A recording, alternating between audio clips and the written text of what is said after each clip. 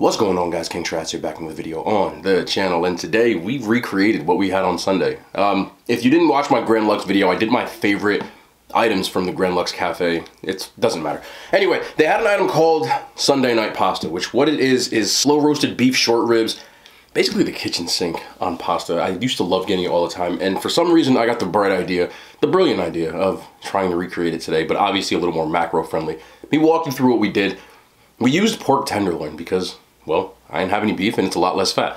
So you can see right now in the slow cooker, we got our tenderloin, we've got peppers, onions, I've got tomatoes, as well as some diced cherry tomatoes, obviously some garlic, lots of different seasonings in there, which I forgot half of. I'm horrible at this recipe thing. Pressure cook that for an hour until you see the short rib is starting to fall apart. Once that happened, we added some of the truff sauce to it, drained a little bit of the liquid out, but we kept some of it in and then added it slowly just so I got the right consistency. And that is really it. Let that slow cook for a couple of hours actually. And of course we made our pasta, we plated it up. And then I added some Parmesan cheese. And this is what we came up with. I actually think, I haven't tried it yet, but smell-wise, it's pretty close. The only thing I would have done differently is I would have added more tomatoes at the end because here's a picture of the real one. I actually have a video. Um, there's some like tomato chunks in there that I, I used all my tomatoes. It's not, I don't, it's missing that. But other than that, I, I, think I did a decent job. But you know, the real test is what does this taste like? So, oh, I don't have a plastic fork this time. I know y'all don't like my plastic forks, but I also didn't use ground beef just because like that's like protein overkill. But let's see what we got. Don't fall! Don't! I swear to God. Stay. I'm gonna let that hang too. What are we saying?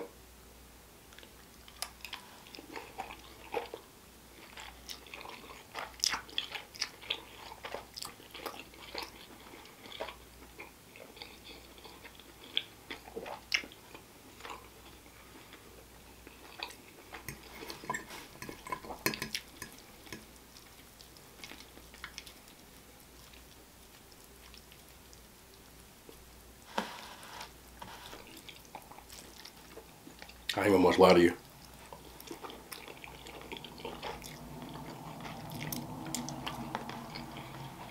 I might like it a little better.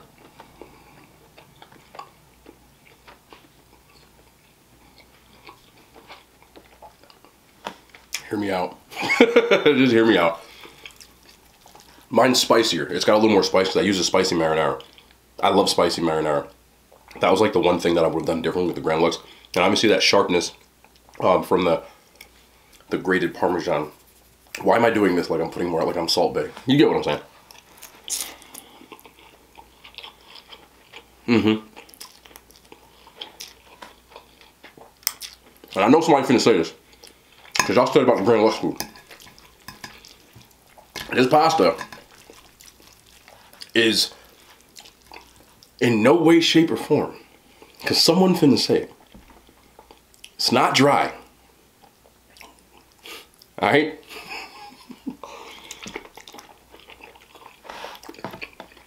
Can y'all hear the juiciness in my mouth? You get what I'm saying. Juicy mouth, dude.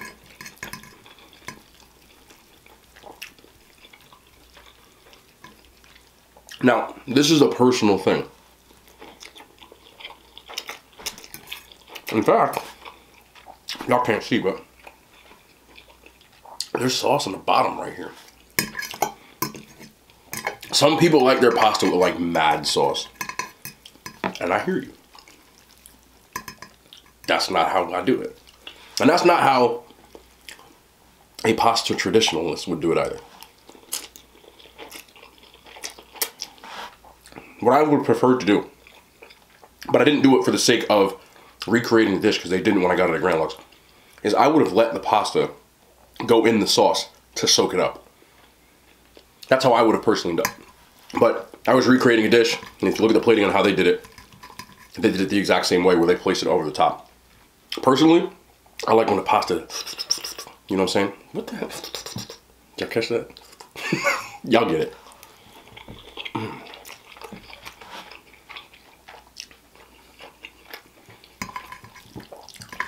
But I can understand because I grew up around a lot of different people how many different ways people eat pasta.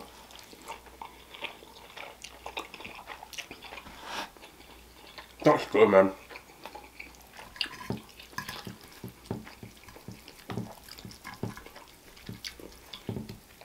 And I've seen a lot of different crazy variation depending on who, what family, where it came from, eat pasta. Um,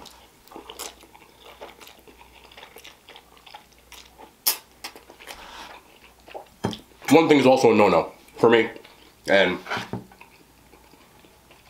really any person who's making, do not the pasta, don't break the pasta. Break the pasta. By the way, this is just straight water today. I didn't get enough water today. I usually finish my gallon, I didn't, so that means I don't get the extra taste.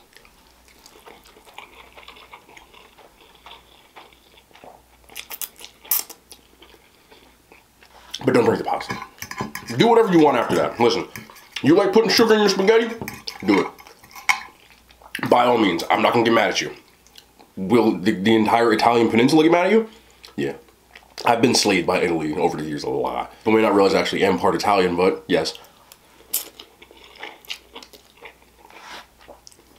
I am.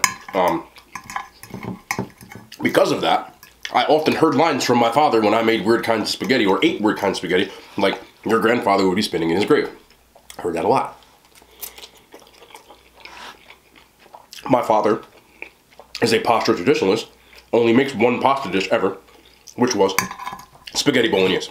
That's it. Nothing else. We go out to an Italian restaurant, spaghetti bolognese. He's making pasta tonight, spaghetti bolognese. Any place that serves pasta, spaghetti bolognese.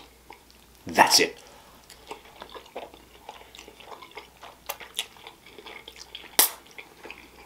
It's pasta with like a meat ragu, thick meat sauce, very good. Coincidentally, has become one of my favorites. I've branched off a little bit as I've gotten older. Now, my mother, on the other hand, I've told this one a few times on here. Y'all probably heard this because I haven't talked about pasta in a long time. But she had a weird thing she did with pasta. I don't know if she still does it because I haven't seen my family eat pasta in a very long time. But growing up, she definitely did this all the time. She put blue cheese dressing on her spaghetti.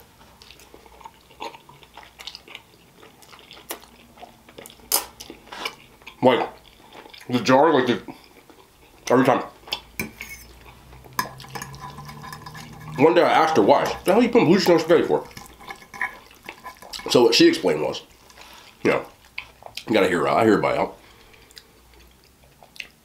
We a lot of times when we made pasta, it would come with garlic bread. We make garlic bread as well as salad, which I don't eat.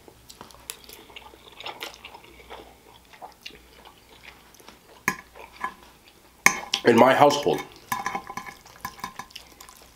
there was only one kind of salad that they ever ate. Even at a restaurant, didn't matter. Blue cheese dressing. There was no Italian, French, all, nope, blue cheese. The end. So much so, and I'm not joking, I never tried ranch dressing until I was in high school. Swear. Never once had it. When I was in high school, um, we used to have like a big tub of ranch in the middle of the table because we had like pizza on like Fridays and on Mondays. And everybody would like, you know, put a ranch on their, their plate and eat the pizza with it.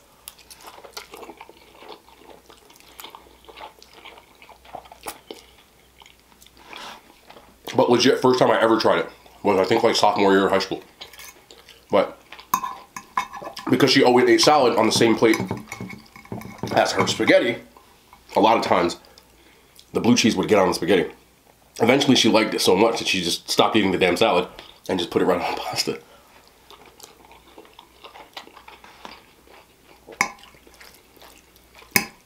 But that was the way we ate pasta in my house. Now, you guys have seen my best friend, he's Sicilian. The pasta was much different. It was closer to what my dad made, but a lot of times the meat, there was like sausage or something on the side. And the meat was alone. So it was just like tomato, like a marinara with the pasta. Then you'd have a meat course and so on. Like when Italians eat pasta on Sunday, it's like an event. Like it's not, It ain't like you know, like people that have spaghetti on weekdays. No, no, it's like an all day event. Your mom starts cooking at like eight o'clock in the morning. And almost like how like a lot of cultures do Sunday dinner, but Italians obviously there's usually pasta. For me, if there was Sunday dinner, it was you know like soul food, which was bad. But then I had another friend who was Dominican, who was both Puerto Rican and Dominican, but I always laugh at this because it's such like a it's startling if you never dealt um, with like I'm sorry.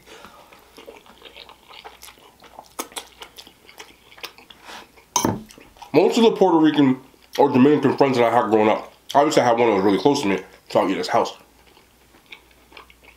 When I tell you adobo went on in everything, bro, spaghetti one time. you could taste it right away too. I remember first time I had spaghetti, right? I was like,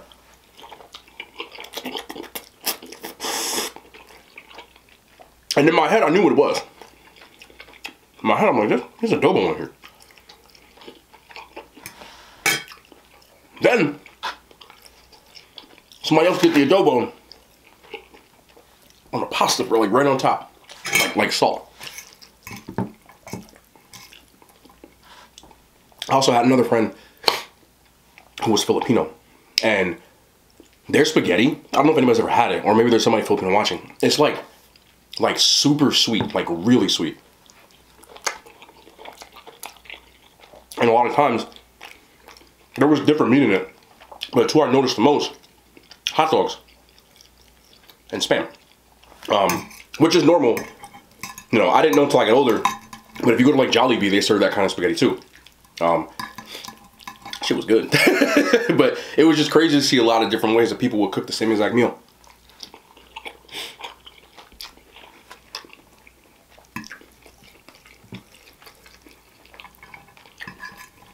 But like their their pasta, the Filipino one I had, it was almost like ketchup. Like how sweet it was. It was like super sweet. Shit was good. But it just was like different than what I was used to.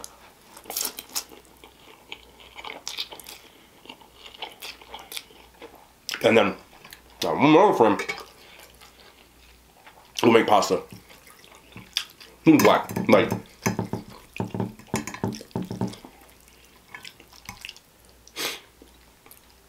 they I watched one time. It was his grandma who was cooked in his house. And she made the pasta. It was like regular pasta sauce with meat. You know, like a lot of people make on weekdays.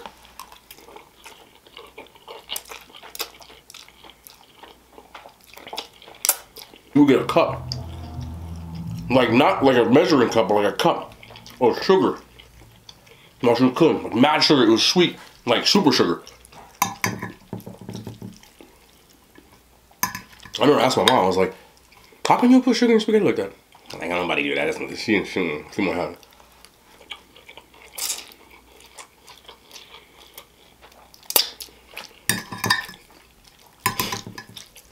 It's just crazy how something as simple as like spaghetti, which I've now talked about for the last like 12 minutes, has like such a big influence all over the world in different cultures and how different cultures make it.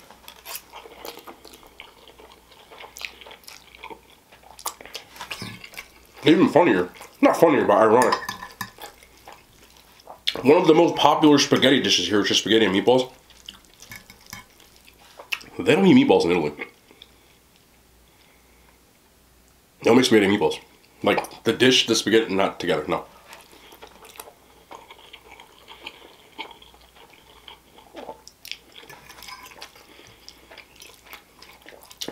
But over years,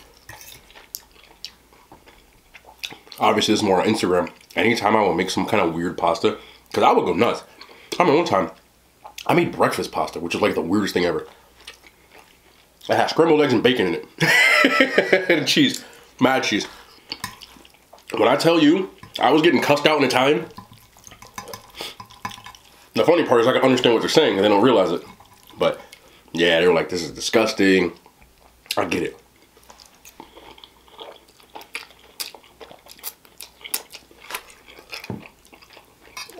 Some people take offense to if you do something different with like a traditional meal that they have. It depends on the person though, you know?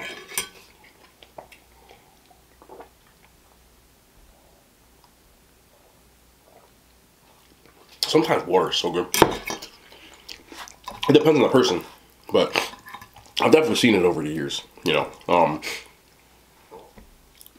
if you eat it wrong. For example, uh, one of the I did uh, the the Indian first time I ever had it, um, which is crazy because the video actually got a ton of views, um, and a lot of people who are Indian were commenting and. For the excuse me, for the most part, most people were chill. They were like, "Yo, like you know, try doing it this way. Try." Which I get it. I've never had it before, so I don't know what the hell I'm doing. Which I think I said in the beginning of the video, but there were some people that were like, "Yo, don't eat that naan bread with the with the rice." My bad. oh, my bad. You know. Like Italians do that a lot with their food. I used to make paella. it was like like macro friendly paella, which means I couldn't use oil. I wasn't making it in a paella pan. Like I didn't have I, I put like different kind of sauces, like not like it wasn't traditional. I, I will admit that. All right, listen. As a person who can actually speak Spanish, Spain was not it, bro. they was slaying me. I swear. I haven't made paella in years, but killing me, and, and so on. I mean, I can kind of understand that, but I, I personally like, especially when it comes to a lot of like traditionally African American. Um, I can I can say black with the politically correction. Listen, like black people, like you know, fried chicken, collard greens, stuff like that. Koreans make some bomb ass fried chicken, bro. It ain't traditional, but that's whew, they they did their own little spin. I, y'all gotta try fusion food though. Like another big one. I went to La Fortaleza a couple of days ago, right? This weekend. But the first time I went there was months ago. Why am I Eddie Murphy handing this? First time here. Listen, um, and I got their most popular items off the menu. One of which was alita, like wings. It's literally the translation. They were chicken wings. Um, people were in that video just not having it. I also got like a cemita, like a sandwich. And people were like, that's not a real, like a Mexican sandwich, like a torta. So I asked them. I went, the next time I went, um, was actually, I think my, like, my sister asked me to DoorDash, like, to, to get her, uh, guacamole. So I went to get guacamole, and I asked, I said, hey, listen, cemitas, these, like, apparently they're from a specific region in Mexico where that family that opened that restaurant that they started it are from. So the person that said that they weren't real, I think maybe just was thought it was like a different region or something because I looked it up. I even watched an episode of Bizarre Foods. You know, like Andrew Zimmern has like the stuff. It's not even bizarre anymore. He just goes to different regions, and it's the same region where they make um not tequila, mezcal. It's like a so it's the same exact reason. And it was the thing. But it's the same thing as if you go to Italy, Sicilian, which the majority of people around me are Sicilian. Sicilian southern Italian food is much different than northern Italian food or like Napolitan Neapolitan food and so on. So regions matter too. Um, and I guess in America, somewhat matters. Obviously, if you go to Texas, the food's different than in Florida. You know, if you go in those southern states, Florida, Louisiana, they eat alligator. Um, you can't find alligator here. Though I've had it. It was in Iowa, actually, believe it or not, at a Cajun restaurant. But so on and so forth. So different regions have different food, just like in America, different regions speak a different dialect of English. I don't talk like I'm from Kentucky or Ohio or or you know so on and so forth. And I think maybe they missed a boat on that, but it's also crazy how you can break down different cultures, not just in the country, but also by the region in the country. Um, it's just dope. I love culture, man. And this this pasta, I, I don't know how the hell I ate this so fast. that was like a box, two boxes of pasta, bro. Well, damn. And like a whole tenderloin. Y'all so it was a lot of food. But I don't know. I went down smooth. And somehow I didn't choke on my food because it was not dry. But yeah, um, actually, tomorrow we won't be in the kitchen again. the Taco Bell you saw on Monday, and I said anytime there's a new item, I gotta go get it. And there is a new item. I just found out about it, not even joking, an hour ago. Um, it is a fast food item. Maybe some of you have seen it already. Um, if you if you're in this far in the video, that means you watch my videos. I'll tell you, um, it's Wendy's. So you can check Wendy's website, but they got a new sandwich. You know what that means. Your boys got to go get it. I heard they uh, uh, remixed their fries too. So I'll get the fries. I'll get the sandwich. I'll let you guys know what's popping. The Taco Bell thing was kind of an L, but not an L. And I also found out uh, one last thing before I did. The Taco Bell chicken is fried. Um, but the actual chicken is from a bag. It's a frozen bag of chicken, which they put in the deep fryer. Taco Bell has deep fryers now because of the fries. Um, I also found out that they fry them for four minutes. I got a person. I got a person. So uh, they are fried, but the chicken is pre-made and it's frozen. Um, and the the flatbread is like the chalupa. Anyway, that'll be the end of the video. Oh, the Chipotle ranch is already on the menu, so they didn't really do anything. I'm, that was a little disappointing, wasn't it? Like, yeah, we waited that long for that. You know what I'm saying? Like, we waited that long for, like, I could have made that shit. Let's just keep it a buck. I like Taco Bell, but we waited like eight months to the end of the Chicken Wars. I was holding out to do the complete review to see if Taco Bell had something to say about it, and it came out with a snack wrap. You know? Anyway, you saw what I'm doing tomorrow, so I gotta do that. But I wish you guys, hope you guys have a great rest of your day. Thank you for stopping by. All that good stuff. We will be back. I got water? Nah, water. Tomorrow, more content. I love y'all hand signs. They made it to YouTube.